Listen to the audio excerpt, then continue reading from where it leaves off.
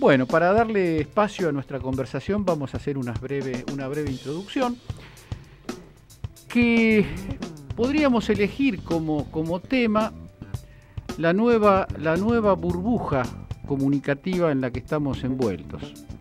Ustedes saben que este país hace ya unos cuantos meses, yo, diría que hace cuatro años, más o menos, eh, funciona como una especie de, sistema de noticias espectaculares que ocupan rápidamente el espacio central de los grandes medios de comunicación en todas sus, en todas sus formas y en todos sus soportes y que rápidamente se evapora eh, sin dejar, sin pena ni gloria, sin dejar rastro político alguno.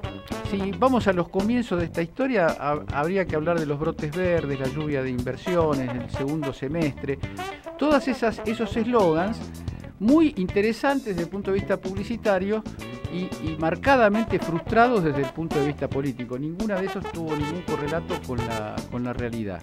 Después vinieron eh, los precios esenciales. ¿Alguien se acuerda de los de los y las que están escuchando este programa de los precios esenciales, tendría que hacer, tendría que explicar qué son los precios esenciales porque no está en la agenda de nadie.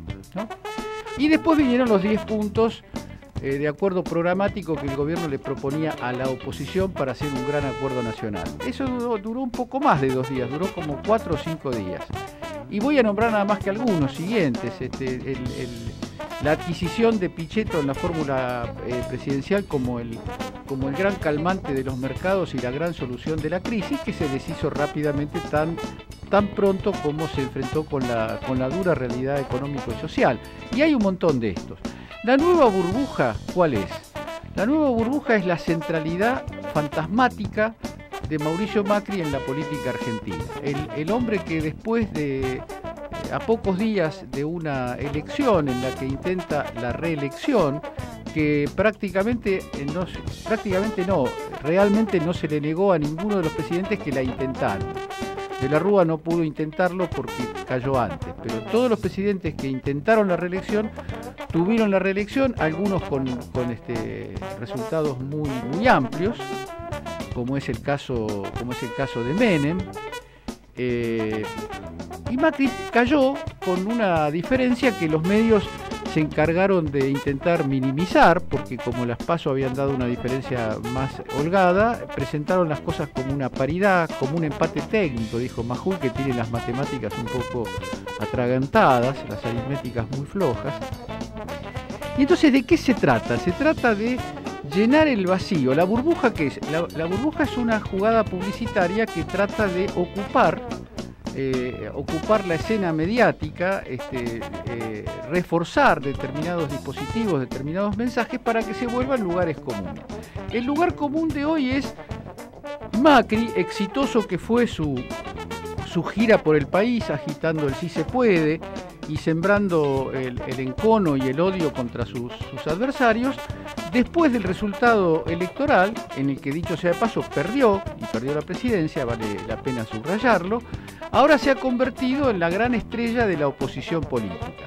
Extraño caso de un presidente derrotado, de un presidente cuestionado en la coalición y dentro de su propio partido, que sale a la palestra mostrando unas ínfulas de ganador cuatro años antes de lo que va a ser la próxima elección. Le va, a costar un trabajo bastante exigente, sobre todo salir de la sensación de derrota electoral, pero además de catástrofe política, social y económica hago un pie de página en esto porque va a tener que ver con nuestra conversación de fondo de hoy.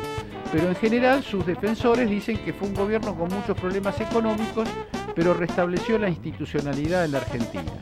Restablecer la institucionalidad parece que quiere decir apretar, apretar jueces, eh, perseguir, este, averiguar datos de jueces que tengan causas en las que está involucrado Mauricio Macri para encontrar con qué amante viajaron, cuánta plata gastaron en los viajes, a qué hoteles fueron.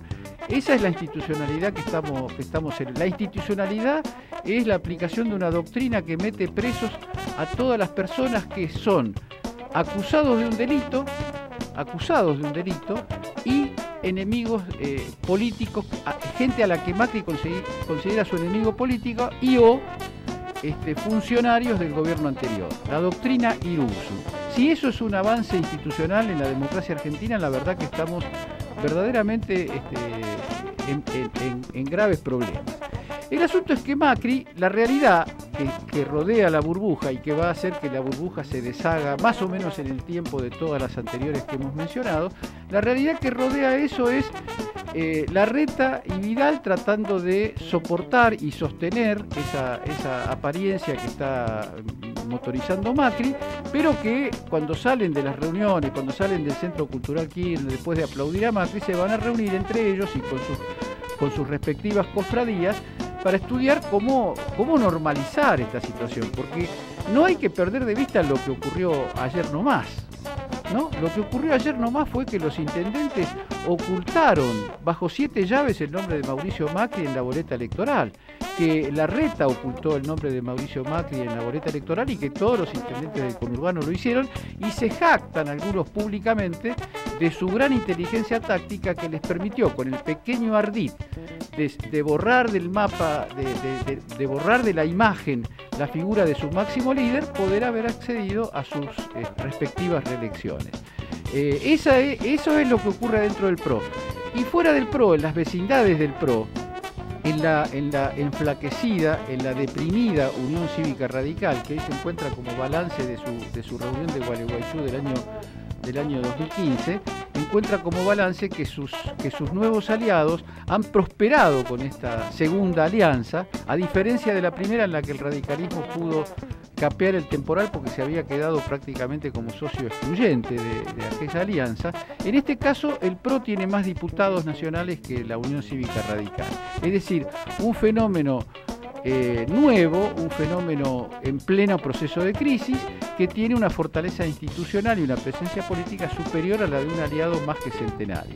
Estos balances no se hacen en, los medios de comunicación porque hay que tapar todo y hay que poner el acento en cómo agitar nuevamente los, casos judiciales que puedan perjudicar a Cristina y a sus alrededores y seguir este, traficando una información envenenada, una información sucia, que cuando pasa cierto tiempo rápidamente se revela su falsedad, pero que mientras tanto van logrando el objetivo de eh, ocupar el centro de la escena informativa, ocupar el, centro de la preocupación, de la preocupación política. La verdadera cuestión política frente a la que estamos es la próxima asunción de la, de la fórmula convertida ahora en presidente y vicepresidente electo de Alberto Fernández y Cristina Kirchner. Y junto, y junto con, ese, con ese dato, la eh, extraordinaria complejidad que tiene, que dejó Macri que dejó Macri, que dicho sea de paso, a través de Marcos Peña presentó un balance que parece de otro planeta, ¿no? Es decir, parece que hemos, hemos eh, desactivado los motores de la inflación, pero entonces debe ser que la inflación no tiene motores, porque la inflación, eh, los motores no son el problema, debe estar en algún otro lugar el, problema de la inflación porque eh, estamos en una inflación de 60% anual y que hemos desendeudado o hemos mejorado la situación de la deuda, la situación de la deuda que dejó el gobierno anterior eso es para un manual de la estupidez argentina, corrijo un poco el título de, don Arturo, porque eso no, no, encaja en ningún, balance y sobre todo no encaja en el, balance que hizo la mayoría de nuestra sociedad. Ahora lo dejamos esto puntual y provisoriamente acá y vamos a retomar con lo que se presenta como el gran éxito del macrismo, la, eh, el mejoramiento del, función, de la del funcionamiento de las instituciones argentinas. Vamos a hablar con alguien muy autorizado sobre ese tema para que opine sobre ese, sobre ese titular. Y vamos a escuchar un, un tangazo por Osvaldo Pugliese.